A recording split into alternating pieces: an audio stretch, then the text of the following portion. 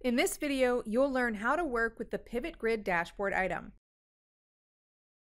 The dashboard designer is already connected to the data source. We'll click the Pivot button to add a Pivot Grid dashboard item to the dashboard. Next, drag and drop the sales field to the value section. The pivot will display a total sales value.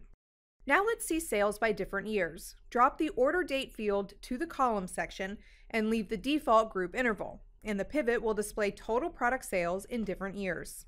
Next, drag and drop the region field to the rows section to see product sales by a region and the order year.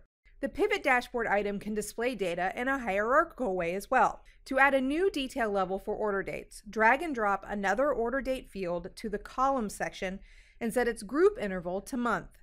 You can also expand specific years to see sales by months. Finally, drop the state province field to the rows section. To specify the default expanded state of column row values, go to the Data tab and specify the initial state. To change text displayed within the pivot caption, right-click Pivot, select Edit Names, and specify a new name. And click OK.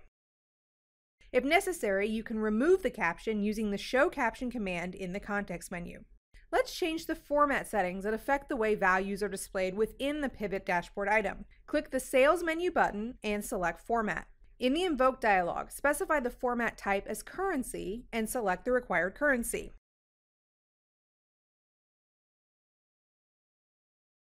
And you'll see cell values will be displayed with the corresponding currency symbol.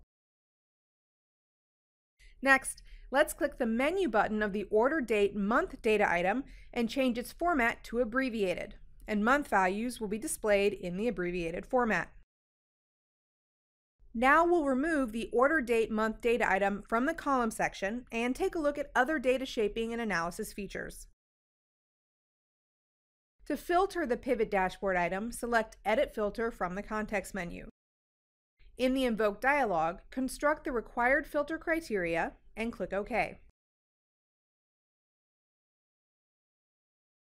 If you want to filter the pivot by dimension values that do not directly take part in the visual representation of data, drop the required dimension to Hidden Data Items and add the required condition to the filter criteria.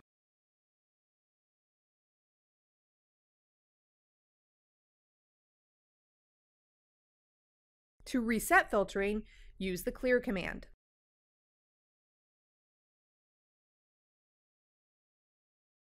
Now let's see how to sort states by sales values. Click the State Province menu button and select Sort by Sales.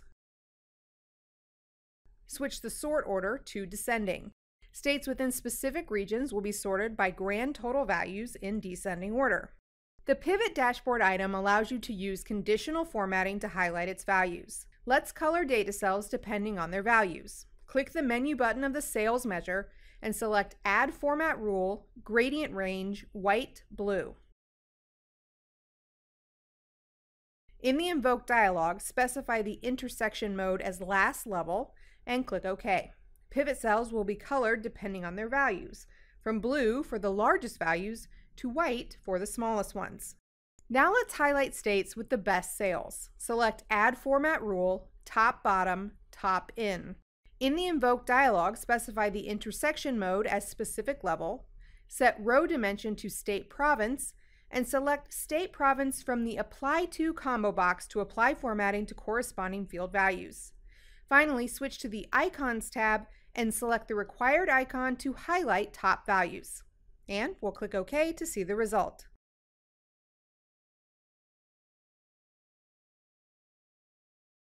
Now select Print Preview to make sure that all data shaping formatting settings are preserved in the printed document.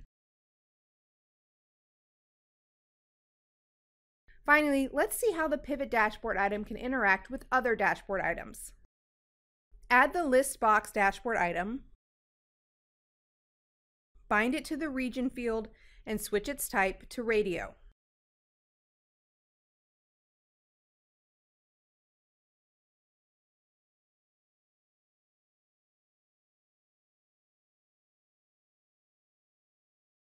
Select the required region to filter the pivot according to the selected value.